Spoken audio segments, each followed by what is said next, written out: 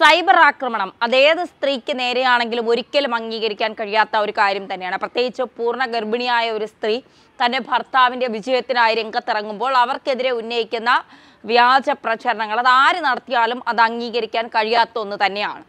പക്ഷേ സൈബർ സഹാക്കന്മാർക്ക് ഇപ്പം പൊള്ളുമ്പോൾ ഒരു കാര്യം ചോദിക്കാതെ ഇരുന്നുകൂടാ. മാസപ്പടി വിവാദം ഇവിടെ കത്തി നിൽക്കുന്ന സമയം. വീണ വിജയനെതിരെ മാത്യു കുഴൽനാടൻ എവിടെ നിന്നൊക്കെ തെളിവുകൾ കൊണ്ടുവരാൻ കഴിയുമോ അവിടെ നിന്നൊക്കെ തെളിവുകൾ കൊണ്ടുവന്ന മാധ്യമങ്ങളെ കണ്ട പിണറായിയെ മകളെ മിണ്ടാട്ടം മുട്ടിച്ച സമയത്ത് മകളിൽ നിന്നും പിണറായിയിൽ നിന്ന് ശ്രദ്ധ മാറ്റാനായി അന്തരിച്ചുപോയ ജനകീയനായ മുഖ്യമന്ത്രി ഉമ്മൻചാണ്ടിയുടെ മകൾ. അതും അച്ഛന്റെ പേര് ദുരുപയോഗം ചെയ്തോ അച്ഛന്റെ പേര് ഉപയോഗിച്ചോ ഒരു ചില്ലിക്കാശുണ്ടാക്കാത്ത ഒരു സ്ത്രീ. അവർ വിദേശത്ത് സ്വന്തം കഴിവിൽ അവർ ജീവിക്കുന്നു അധ്വാനിച്ച് ജീവിക്കുന്നു ഭർത്താവിനും കുടുംബത്തോടൊപ്പം ജീവിക്കുന്നു. പേര് അച്ചൂമ്മൻ. അവരെക്കുറിച്ച് സൈബർ ഇടത്തിലെ സഹാക്കന്മാർക്ക് വേണ്ടി വിടുവേല ചെയ്യുന്ന സൈബർ സഹാക്കന്മാരായ പോരാളികൾ നടത്തിയ വ്യാജ പ്രചരണങ്ങൾ. അതായത് മാസപ്പടി വിവാദത്തിൽ നിന്ന് കേരള ജനത്തെ ഒന്ന് മാറ്റാൻ വേണ്ടി മാസപ്പടി വിവാദത്തിൽ നിന്ന് ശ്രദ്ധ തിരിക്കാൻ വേണ്ടി. പുതുപ്പള്ളി തിരഞ്ഞെടുപ്പിൽ ശ്രദ്ധ മുഴുവൻ അങ്ങോട്ട് മാറണം എന്ന് ചിന്തിച്ചുകൊണ്ട് അച്ചു ഉമ്മന്റെ വസ്ത്രം അച്ചു ഉമ്മന്റെ ചെരുപ്പ് അച്ചു ഉമ്മന്റെ ബാഗിന്റെ വില അച്ചു ഉമ്മന്റെ ഫേസ്ബുക്ക് സോഷ്യൽ മീഡിയ പോസ്റ്റുകളൊക്കെ എടുത്തിട്ട് അലക്കി സൈബർ പോരാളികൾ ആനന്ദം കണ്ടെത്തി. അപ്പോഴൊക്കെ മൗനത്തിലാവാതെ ഉറച്ച നിലപാടോടുകൂടിയും ഉറച്ച ശബ്ദത്തോടു കൂടിയും ചങ്കുറപ്പോടെ അവർ മുന്നിൽ വന്നു നിന്ന് പറഞ്ഞു ഞാൻ എന്റെ അച്ഛന്റെ പേരുപയോഗിച്ചൊന്നും ദുരുപയോഗം ചെയ്തിട്ടില്ല പേരുപയോഗിച്ചൊന്നും നേടിയിട്ടില്ല. എല്ലാം ഞാൻ സ്വന്തമായി അധ്വാനിച്ചുണ്ടാക്കിയതാണ്. ഞാനൊരു മോഡൽ കൂടിയാണ്. വലിയ വലിയ കമ്പനികളുടെ ബ്രാൻഡുകൾ പരിചയപ്പെടുത്തുന്ന ഒരു മോഡൽ കൂടിയാണ് എന്ന് അവർ പറഞ്ഞു.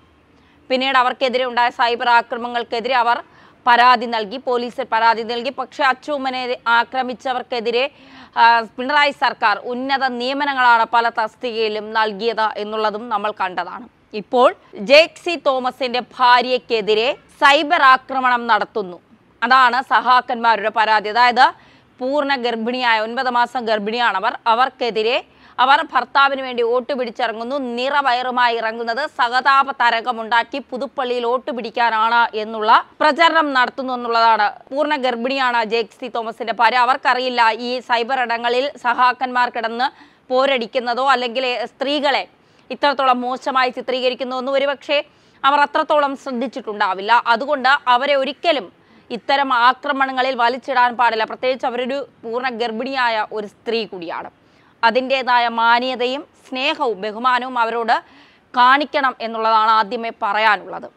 പക്ഷേ അവർക്ക് വേദനിച്ചപ്പോൾ ജെയ്ക്സി തോമസിന് നൊന്നിട്ടുണ്ടായെങ്കിൽ അവർക്ക് വേദനിച്ചപ്പോൾ അതായത് ജെയ്ക്സി തോമസിന്റെ ഭാര്യയെ പറഞ്ഞപ്പോൾ സഹാക്കന്മാർക്ക് വേദനിച്ചിട്ടുണ്ട് എങ്കിൽ നേതാക്കന്മാർക്ക് വേദനിച്ചിട്ടുണ്ട് എങ്കിൽ നിങ്ങൾ ആലോചിച്ചു നോക്കണം അച്ചു ഉമ്മൻ എന്ന് പറയുന്ന സ്ത്രീക്കെതിരെ നിങ്ങൾ നടത്തിയ സൈബർ ആക്രമണം. എത്രമാത്രം അവരെയും കുടുംബത്തെയും അതും ഉമ്മൻചാണ്ടി മരിച്ച ദിവസങ്ങളാകുന്നതിന് മുൻപേ ആ കുടുംബത്തിനെതിരെ നിങ്ങൾ നടത്തിയ അധിക്ഷേപവും നിങ്ങൾ നടത്തിയ ആക്രമണവും എത്രത്തോളം ആ സ്ത്രീ അനുഭവിച്ചിട്ടുണ്ടാകും ആ സ്ത്രീ വേദനിച്ചിട്ടുണ്ടാകും. സ്വന്തം പിതാവ് മരിച്ച ദിവസങ്ങളാകും മുമ്പേ വിജയത്തിന് വേണ്ടി തന്നെ അതിലേക്ക് വലിച്ചിഴച്ചുകൊണ്ട് തന്റെ ജീവിതത്തെ കൂടി കരിവാരിത്തേക്കുന്ന രീതിയിലേക്ക് മാറി എന്നാലോചിച്ച് എന്തുമാത്രം അവർ വേദനിച്ചിട്ടുണ്ടാകും? ഒന്ന് ആലോചിച്ച് നോക്കണം സൈബർ സഹാക്കളെ. നിങ്ങൾക്ക് അല്പമെങ്കിലും ബുദ്ധിയുണ്ട് എങ്കിൽ നിങ്ങൾ ചിന്തിക്കണം. കൊടുക്കുന്നതേ തിരിച്ചു കിട്ടൂ എന്നുള്ളത്. അത് തന്നെയാണ് ഇപ്പോഴും സംഭവിച്ചത്. പക്ഷെ അങ്ങനെ പറയുമ്പോഴും പറയുന്നു ജേക്സി തോമസിന്റെ ഭാര്യ പൂർണ ഗർഭിണിയായ അവരെ പറയാൻ അവരുടെ ഉത്തരവാദിത്വമാണ് അല്ലെങ്കിൽ അവരുടെ അവകാശമാണ് അവരുടെ കടമയാണ് അവരുടെ ഭർത്താവിന് വേണ്ടി വോട്ട് ചോദിച്ചിറങ്ങുക എന്നുള്ളത്. അവിടെ അധിക്ഷേപവുമായി ആക്രമണങ്ങളുമായി ചെല്ലുന്നത് വളരെ മോശമാണ്. നിങ്ങളും അവരെ പോലെ കാണിച്ചാൽ കോൺഗ്രസിലെ സൈബർ ഇടങ്ങളിലുള്ളവരോടാണ് നിങ്ങളും അവരെ പോലെ കാണിച്ചാൽ സൈബർ പോരാളികളെ പോലെ കാണിച്ചാൽ അവരും നിങ്ങളും തമ്മിൽ എന്ത് വ്യത്യാസമാണുള്ളതെന്ന് കേരളത്തിലെ ജനങ്ങൾ ചോദിക്കും. അതുകൊണ്ട് സൈബർ ആക്രമണങ്ങളൊക്കെ സ്ത്രീകളെ വെച്ചുകൊണ്ടുള്ള സൈബർ ആക്രമണങ്ങളൊക്കെ മാറ്റി വെച്ചുകൊണ്ട് ആ പുതുപ്പള്ളിയിൽ വികസനം ചർച്ചയാകട്ടെ. വികസനം ചർച്ചയായി. ഇനി വരുന്നവർ പുതുപ്പള്ളിയെ കൂടുതൽ വികസനത്തിലേക്ക് നയിക്കുമോ എന്നുള്ളതാണ് കണ്ടറിയേണ്ടത്. അത്തരത്തിലുള്ള ചർച്ചകൾ അത്തരത്തിലുള്ള ആരോഗ്യപരമായ ചർച്ചകൾ ഉണ്ടാവട്ടെ എന്ന് മാത്രമേ പറയാനുള്ളൂ.